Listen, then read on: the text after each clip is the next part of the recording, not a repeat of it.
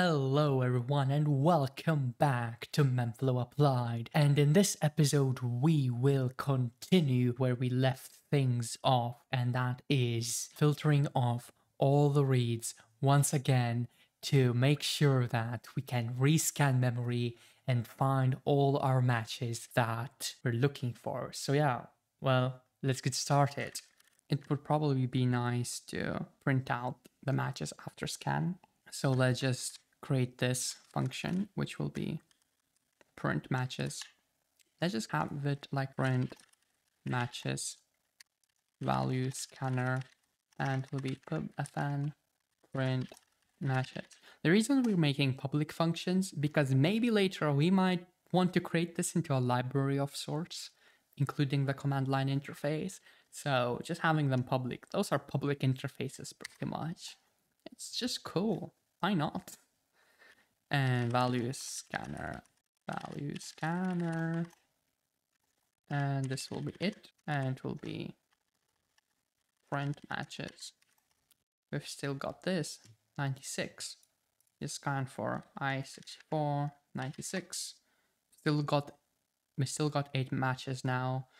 And if we do i64 95 it doesn't change anything because we're not in a rescan phase print matches needs to accept a few things, and that will be type name. And basically, what we're gonna do is type name equals t. Here we go. And matches is gonna have the if let some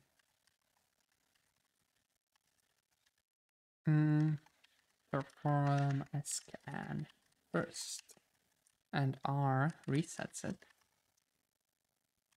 resets it and it also resets the type name and afterwards what we're gonna have one last thing we want to pass in optional type name okay. parse input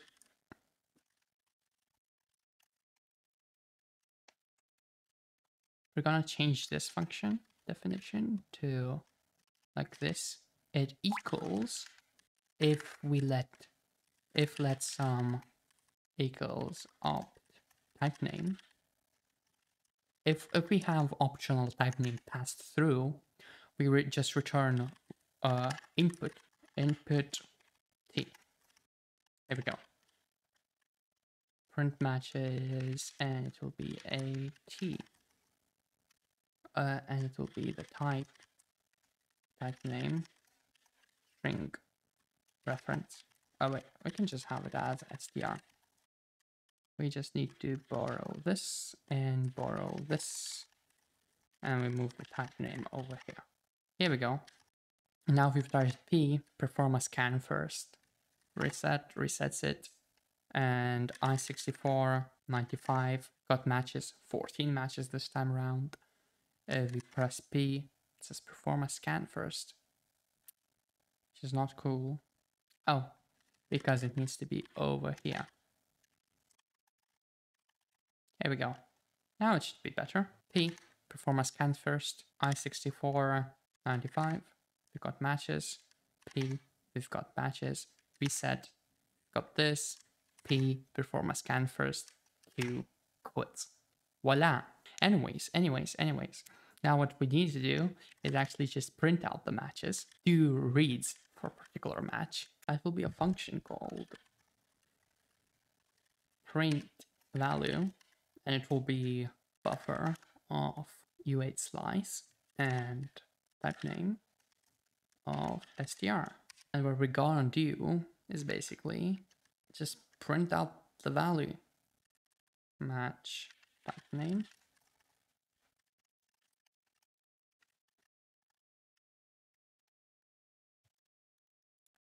we're gonna do right here. And that will be both. And we're just gonna do print. We obviously want to like change this to a proper macro. Uh, stru16 be print string from UTF-16 lossy. I64, it will be print I64 from native endian bytes. And the thing is try into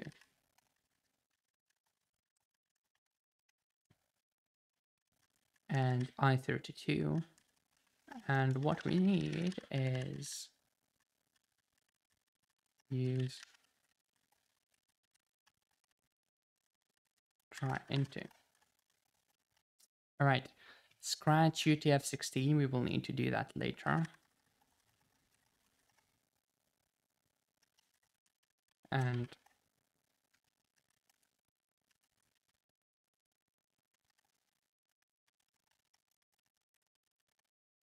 There we go.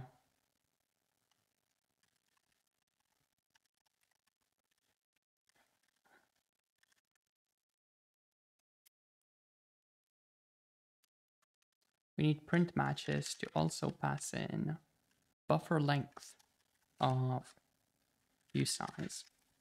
Print matches needs a buffer length and buff len equals buff dot len and let buff len equals zero. Here we go. And print matches, yes, yes, yes. We've got the buff length and we're gonna do something called buff equals vec zero buff len uh, all right and we're gonna do print matches it's gonna need virtmem and we're gonna do virt mem virt read raw into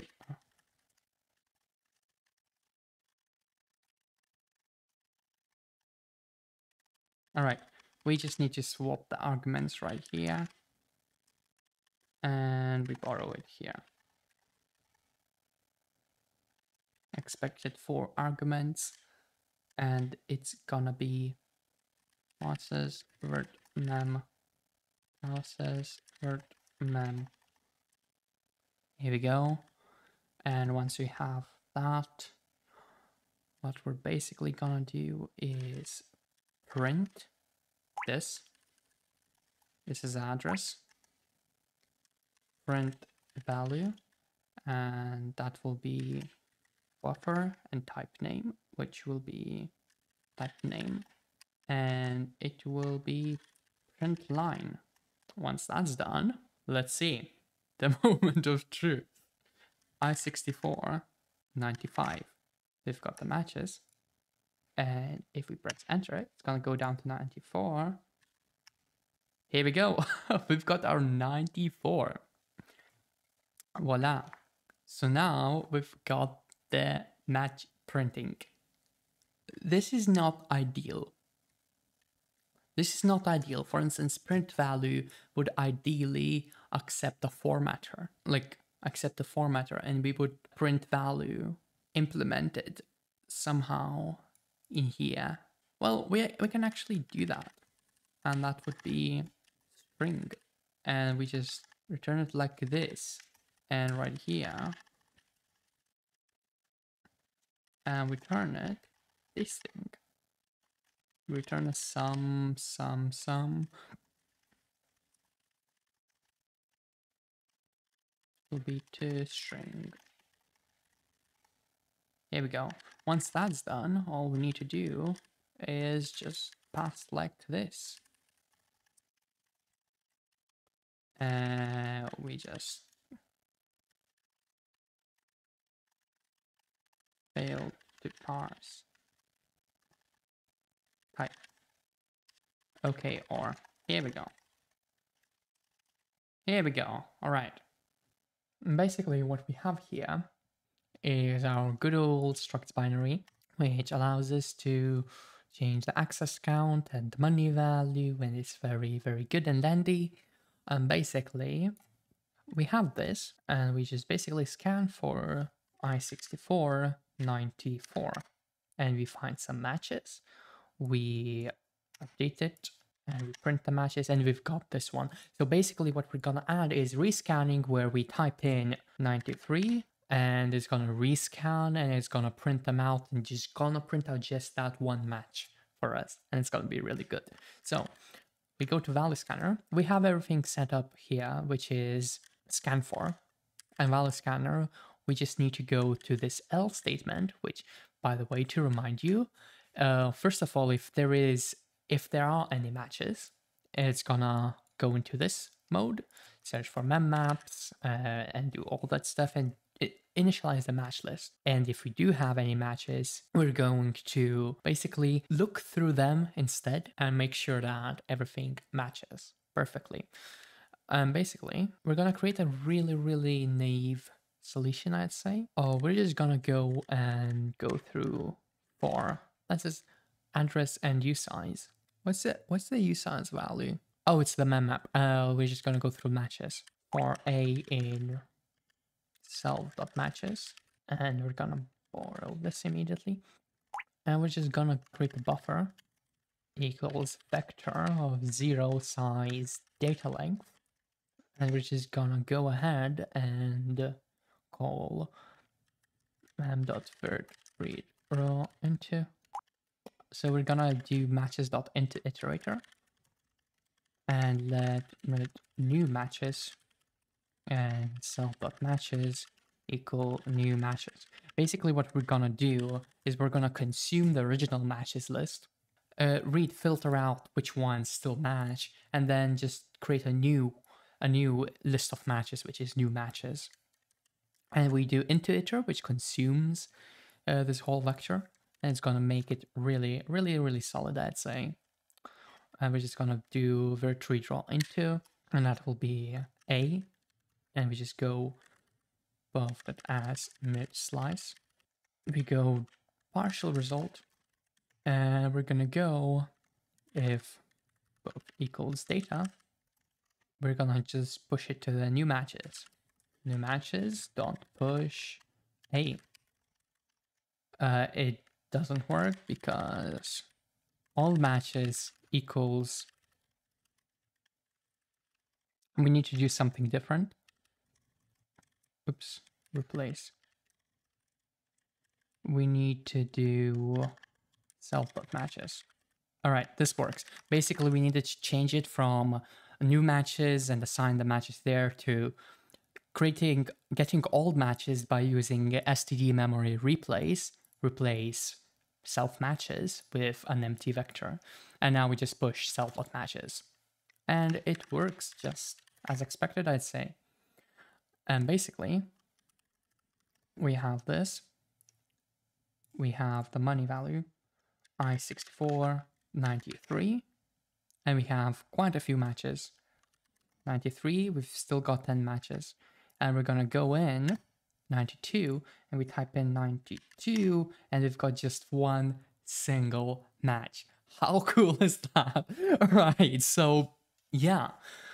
This was the filtering part. We can obviously optimize it and we will be optimizing it later on. For starters, we would probably create a buffer of like the match count and just like read everything at once. But in this case, I have to say, it's like there won't be many million matches unless you scan for a zero byte, then you will have them. But I'd say it's perfectly enough. And for now, let's just keep it like this. And this was filtering. And I'd say this puts us into feature parity with Cheat Engine, which is, well, we don't have replacing of values. Uh, we can add that really easily, I'd say. But we are we have a way to filter everything out and have it all working. Thank you everyone for watching. This was a rather short episode. I mean, I don't remember. I had like half an hour of content from the last episode and this is just a 10 minute recording so we'll see how how long or short the episode turns out. And thank you very much for watching. I really really appreciate your support. It was in the last stream it was so good guys. And if you have any suggestions pop them down in the comments below. Like this video overflow overflow that like button. Seriously that helps me tremendously. And In the next episode, we will be going into pointer mapping, which is one step towards offset scanning, which is what we're aiming for. That's what we will do in the next episode, and thank you very much for watching. My name was Heap, yours was Undefined. See ya.